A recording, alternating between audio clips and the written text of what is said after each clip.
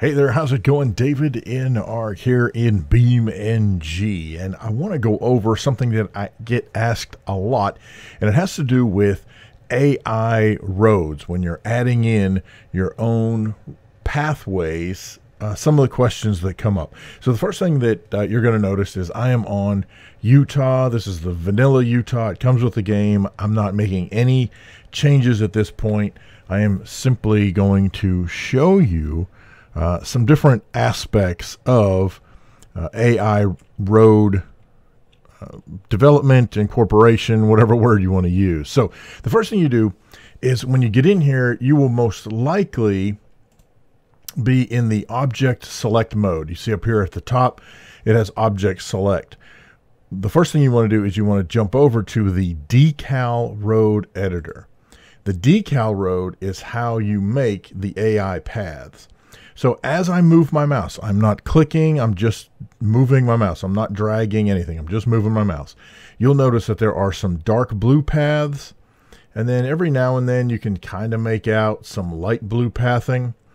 Light blue pathing means one of two things. Either one, it's an invisible road, uh, not only invisible, but it's also undrivable by the AI, or it means that it's like actually underneath. So I don't know if you can see this or not, but if I point to this road that curves up to the side, you see some light blue underneath it. And I'll try to zoom in so you can see that uh, in my uh, editor in the video editor software. But you'll notice that like this one is turning light blue as I come down. It turns light blue until I have it highlighted and then it becomes dark blue.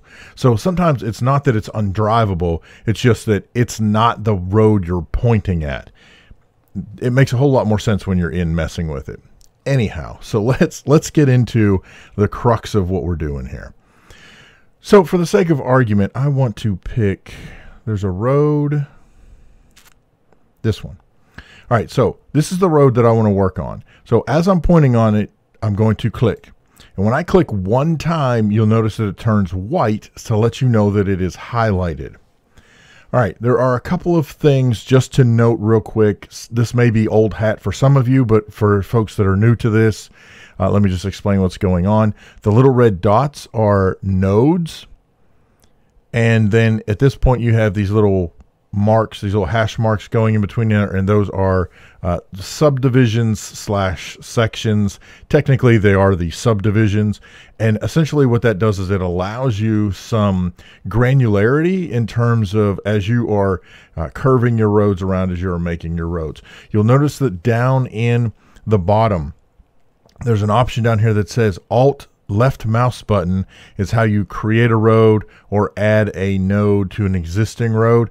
And so that's what you would do is you would hold the alt key and then click your left mouse button and drag a path. I'm not going to get into that today because we're basically just going to talk about if you've got an existing road, um, what are some of the things that the game tells you about that road and or if you've been putting roads uh, onto your into your maps and you're having some trouble figuring some things out. So, first and foremost, uh, I've got it selected drivability.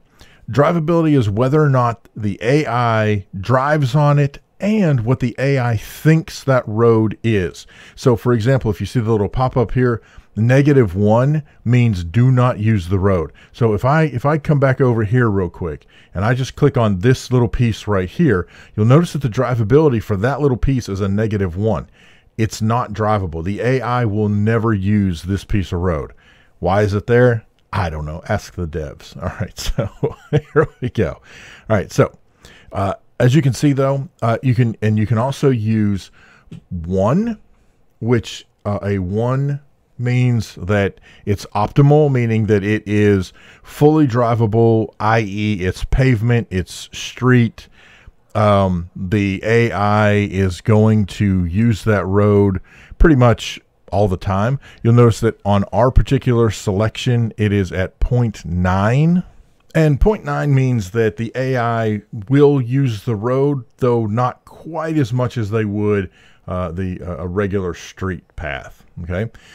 Then below that, and this is one of the questions that I've been asked several times, is how do you tell the game that you only want so many lanes on each side? And this is where this lanes left and lanes right come in. So essentially, how many left lanes are there and how many right lanes are there? And you can see the way this is divided up. Um, it's got one of each. And uh, so that's how this road is set up one of each one. You can also see that there's an option here to select whether or not it's a one-way road. So if I wanted to make this one way so that when they, when they come in, um, it, it's only a one-way road, I could just check this box. Now the danger of that is you might be thinking, well, yeah, that makes sense. You know, I want them to come in, come around. Okay, as soon as they get here, though, it's one if you made it one way it would be only one way in a particular direction. So essentially they could come in for the sake of argument come around this loop if this were one way and then when they got here they would see oh well i, I have to turn right. And so they would get stuck just going around in circles here because they could never leave like a hotel california situation. So be careful when you're doing one way. The other thing you can do is you can also flip direction and if I, um, the, so the way this works is by default, what happens when you when you put in a road. So, for example, if I were to put in this road and I were to start here, come down here, and I'm making these, I'm clicking to make these different nodes, and I come around, then that is the direction that that road flows, right? So, if I were to reverse this, then actually this would be the beginning and it would see them as going out this way.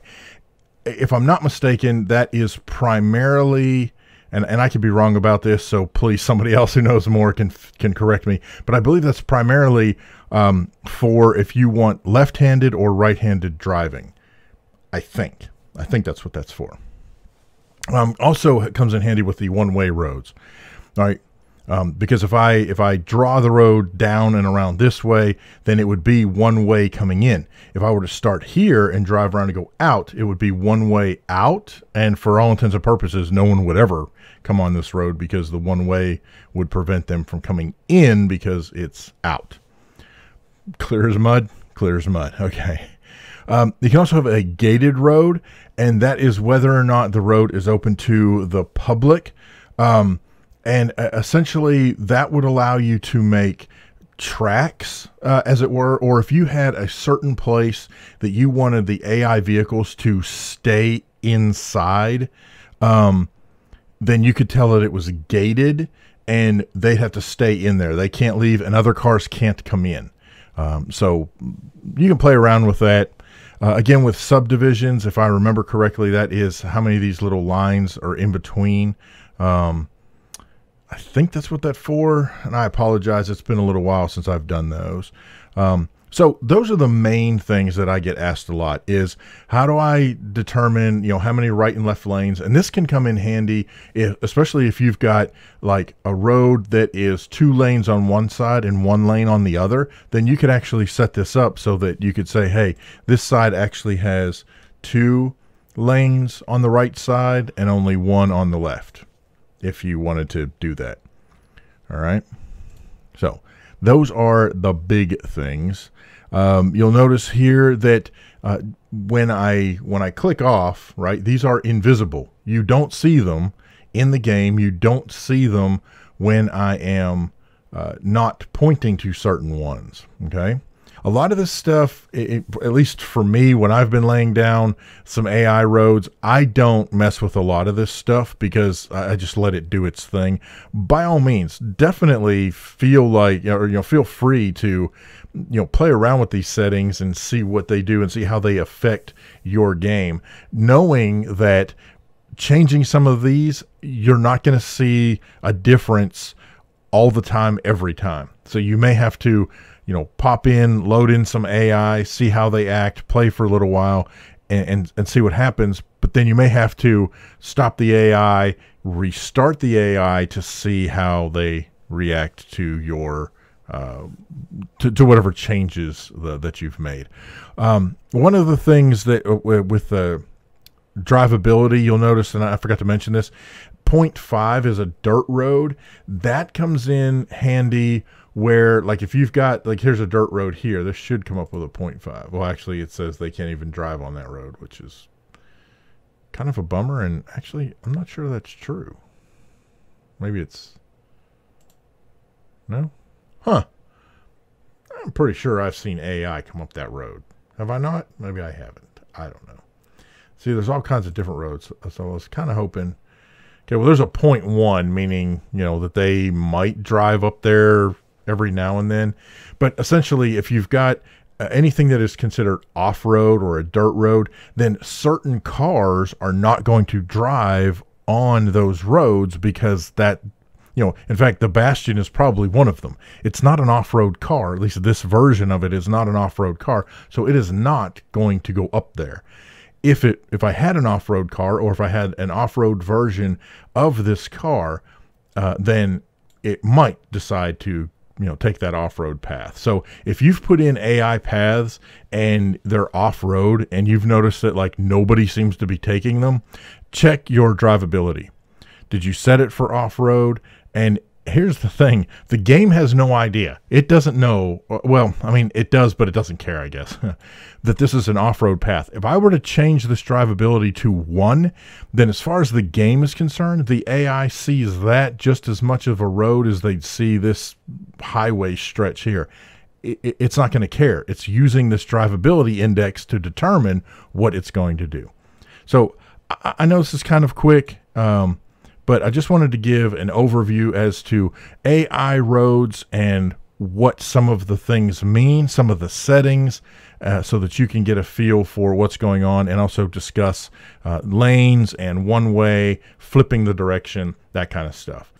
Uh, oh, oh, oh, before I go, up at the top here, you see where it says AI roads are selectable. Um, you want to make sure that that is checked because otherwise you'll you won't be able to select these AI roads to work on them. Good thing I remembered that, huh? Got any other questions, problems, suggestions, horror stories? Feel free to leave those down in the comments section below. Special thanks to Hero of God, Gamer Gull, Los Wilko, 7220 Gamer, the Maestro of Madness, It Has to Be Done, and Cherry Boss for supporting the channel. Man, I thank you guys so, so much, and I appreciate it so, so much. And I thank you for watching and checking it out, and hope that I'm teaching you some stuff. Some of this we're learning together. So there we go. Okay. So, all right. Anyway, there you go. I'm David Ark. Thank you so much for watching. We'll see you next time. Have a great day.